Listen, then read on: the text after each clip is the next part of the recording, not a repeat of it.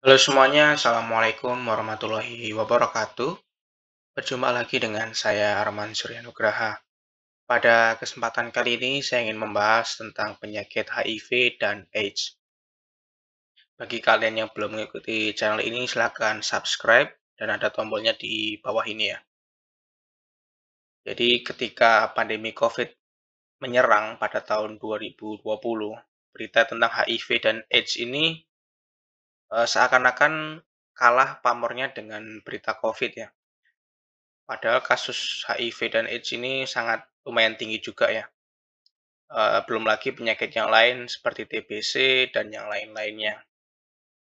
Dan karena ini pandemi COVID itu sudah mereda atau sudah hampir kayak flu biasa, saya mereview kembali tentang penyakit HIV dan AIDS ini. HIV itu sendiri, uh, kepanjangannya yaitu Human Immunodeficiency Virus, adalah sejenis virus yang menginfeksi sel darah putih CD4 ya, yang menyebabkan turunnya kekebalan tubuh manusia. Jadi tubuh ini diciptakan oleh Allah sudah sangat sempurna sekali ya. Jadi apabila ada patogen dari luar atau benda asing yang masuk ke dalam tubuh, itu akan langsung merespon tubuh itu akan memberikan perlawanan. Dan virus ini sendiri itu akan menyerang sel yang akan uh, menyelamatkan kita. Nah, itu sangat berbahaya sekali ya. Sehingga kita perlu mencegah agar virus ini tidak masuk ke dalam tubuh uh, tubuh kita ya, terutama ketika imun kita tadi itu sedang turun. Dan untuk AIDS itu sendiri, merupakan uh, kepanjangan dari Acquired Immune Deficiency Syndrome atau AIDS, merupakan sekumpulan gejala yang timbul karena turunnya kekebalan tubuh yang disebabkan oleh infeksi virus HIV. Nah, bedanya di mana? Untuk HIV ini sendiri, ketika kita uh, tes darah rutin, jumlah sel darah putihnya tuh masih berkisar 500 hingga 1400 sel per mm pangkat 3. Kalau AIDS ini sendiri sudah versi kronisnya. Uh, sel darah putihnya itu hanya berkisar 200 eh, sel per mm pangkat 3. Bisa kita bandingkan ya. Apabila jumlah sel darah putih kita semakin sedikit, kita akan sangat mudah sekali terkena penyakit yang lainnya. Dan itu semoga kita tidak terkena virus ini dan selalu dalam uh, dalam sehat ya. Jadi bagaimana cara kita uh, agar tidak tertular ya atau terhindar dari penyakit HIV dan AIDS ini sendiri? Jelas kita harus melakukan kegiatan yang produktif dan kita bisa mengedukasi uh, mulai dari keluarga kita sendiri atau orang-orang terdekat kita bagaimana informasi yang benar mengenai HIV ini, uh, bagaimana cara penularannya, bagaimana cara pencegahannya dan bagaimana cara pengobatannya. Untuk pengobatan HIV ini sendiri masih menggunakan uh, obat ARV ya, antirotavirus. Dan bisa didapatkan di puskesmas terdekat ya. Bisa uh, konsultasi dulu ke puskesmas dan tanya-tanya. Nanti akan diberikan obat antirotavirusnya tadi. Jadi HIV ini sendiri uh, merupakan sejenis, sejenis virus yang menginfeksi sel darah putih yang menyebabkan turunnya kekebalan tubuh manusia. Dan AIDS itu sendiri merupakan sekumpulan gejala yang timbul karena turunnya kekebalan tubuh yang disebabkan oleh uh, virus HIV. Penderita HIV memerlukan pengobatan dengan ARV, antiretroviral, untuk menurunkan jumlah virus HIV dalam tubuh agar tidak masuk ke dalam stadium AIDS atau yang parahnya tadi. Sedangkan penderita AIDS membutuhkan pengobatan ARV untuk mencegah terjadinya infeksi oportunistik dengan berbagai komplikasinya. Dan di sini obatnya, obat antivirusnya itu hanya bisa mencegah ya.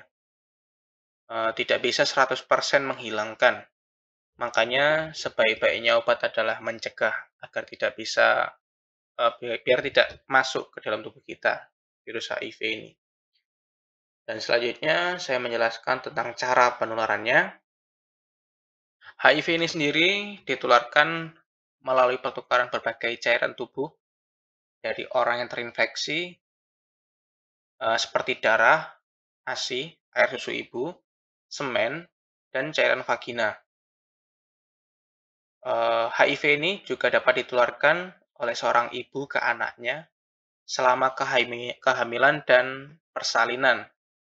Perlu kita garis bawahi di sini, tidak selalu penderita HIV itu uh, karena hubungan seksual, bisa juga karena saat dalam kandungan ibu ya. Di, nanti ketika anaknya sudah dewasa, mungkin baru virus itu uh, aktif dan akan menimbulkan gejala-gejala ya.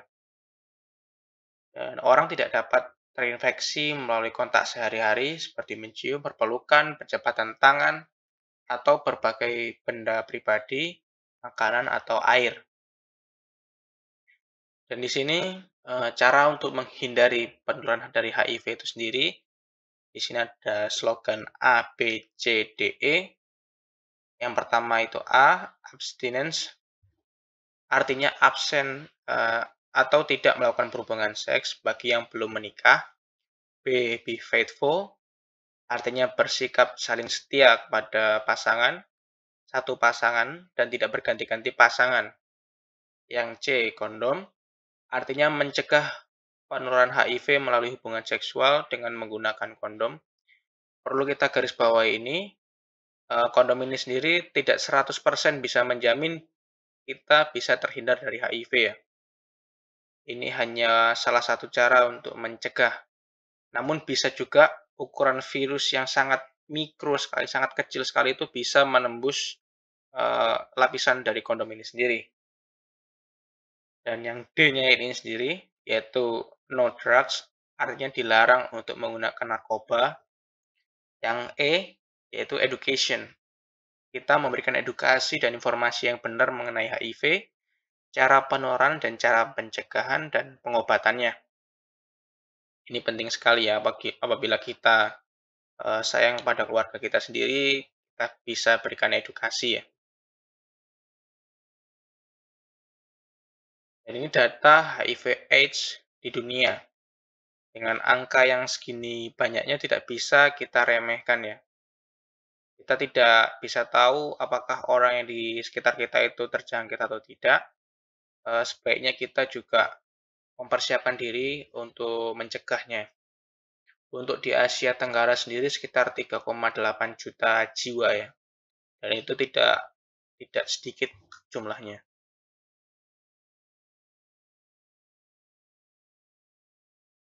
Ini distribusi penderita HIV baru berdasarkan populasi berisiko secara global pada tahun 2018. Untuk data yang terkini masih belum rilis ya. Dan di sini paling banyak eh, yaitu populasi lainnya. Yang kedua ada pelanggan pekerja seks dan partner, partner seks dari populasi berisiko. Selanjutnya ada orang yang memakai narkoba suntik, uh, karena jarum suntik ini, uh, bisa uh, darah tadi ya, adanya darah pada jarum suntik itu bisa menjadi transmisi dari virus ini sendiri. Dan di sini cenderung, bekerja seks lumayan rendah ya. Dan untuk 17% ini untuk LSL yaitu jenis pria lain yang melakukan seks uh, dengan sesama jenis. Ini perlu kita hindari ya. Kalau ada di sekitar kita, mungkin bisa kita ingatkan supaya tidak menyebarkan uh, virus HIV ini sendiri. Karena apabila sudah uh, terkena atau terinfeksi, virus ini tidak secara langsung menimbulkan gejala ya. Itu yang sangat sulit sekali ya membutuhkan waktu, dan nanti baru menimbulkan gejalanya. Di sini peningkatan risiko tertular HIV di antara populasi berisiko di dunia tahun 2018 dan yang lumayan banyak sekali yaitu lelaki, seks dengan lelaki. Yang kedua ada orang yang memakai narkoba suntik. Yang ketiga ada pekerja seks. Yang keempat adanya transgender. Dan jumlah kasus HIV dan AIDS di Indonesia di sini cenderung fluktuatif naik turun ya. Pada tahun 2019 merupakan puncaknya yaitu berkisar 50.282 kasus. Dan ini tidak sedikit ya.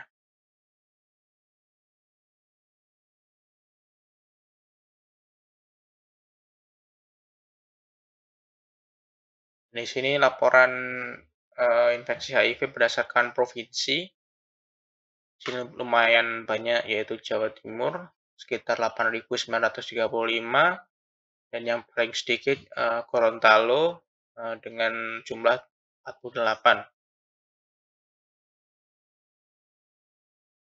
Dan ini uh, jumlah kasus AIDS atau yang HIV sudah parahnya pada tahun 2019 paling banyak yaitu Jawa Tengah sekitar 1613 dan yang paling sedikit Kalimantan Selatan sekitar 5 orang.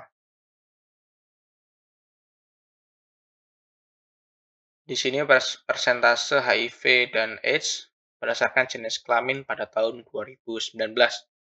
Di sini lumayan banyak untuk HIV itu laki-laki sekitar 64,5 persen dan perempuan sekitar 35,50%. Untuk age-nya itu sendiri, laki-laki sekitar 68,6%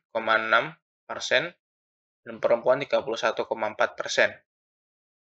Jadi perlu hati-hati ya. Dan ini eh, ada grafis juga tentang jumlah infeksi HIV eh, berdasarkan kelompok umur ya pada tahun 2010 hingga 2019. Mulai pada tahun 2010 hingga 2019, tren yang paling tinggi itu pada umur yang warna biru. Di sini hampir di atas 70% eh, ya rata-rata. Itu pada umur 25 hingga 49 tahun. Mengapa pada umur ini? Karena pada umur ini uh, usia reproduktif ya. Orang pada menikah pada umur 25, mulai menikah.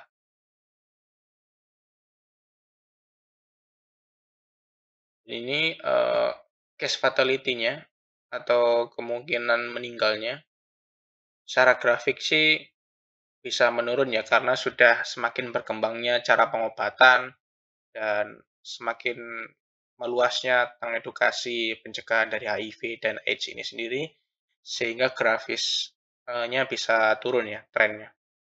Namun tidak bisa kita remehkan juga. Ya seperti COVID itu sendiri, awalnya kan hanya beberapa orang, tidak sampai 10 orang. Namun e, sempat diremehkan sehingga tidak sampai tiga bulan itu langsung meledak jumlah kasusnya sehingga rumah sakit kewalahan dan hanya fokus terhadap COVID-19 ya. Padahal selain COVID itu sendiri, penyakit HIV dan AIDS ini sendiri uh, lumayan banyak juga kasusnya ya. Dan kasihan apabila tidak mendapatkan pelayanan ya, pelayanan kesehatan. Dan untuk data ini sendiri nanti saya akan bagikan ya infografis dari Kemenkes ini di kolom deskripsi ya. Mungkin bisa dibaca-baca. Ini persentase kasus AIDS yang dilaporkan menurut faktor risiko. Dan rata-rata sih eh, orang dengan kelainan seksual ya. Ada heteroseks, IDU, ada homoseks, ada parental, ada bisex, ada transfusi, dan yang lain-lainnya. Dan di sini uh, untuk tes HIV ini sendiri uh, sudah dilakukan dan pada tahun 2017 dilakukan tes sebanyak 80 eh 882.721 dan yang positif uh, sekitar 43 48.300 ya. Dan ini lumayan banyak sekali ya.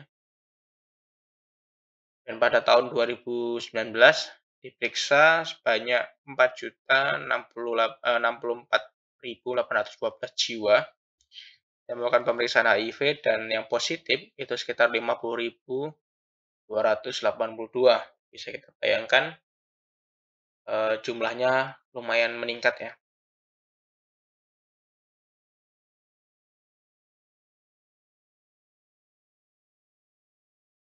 Jadi sebaiknya kita mencegah ya uh, sebelum terjadi uh, penyakit HIV ini sendiri. Dan untuk pengobatannya mungkin bisa hanya bisa untuk mencegah ya supaya tidak terjadi perburukan kondisi dan menghambat virus ini supaya tidak semakin uh, memperparah kondisi dari pasien itu sendiri. Dan apabila ada yang ditanyakan tentang uh, penyakit HIV dan AIDS ini, silakan tulis di kolom komentar ya. Apabila suka dengan video ini, silakan like, comment, dan subscribe. Semoga bermanfaat. Wassalamualaikum warahmatullahi wabarakatuh.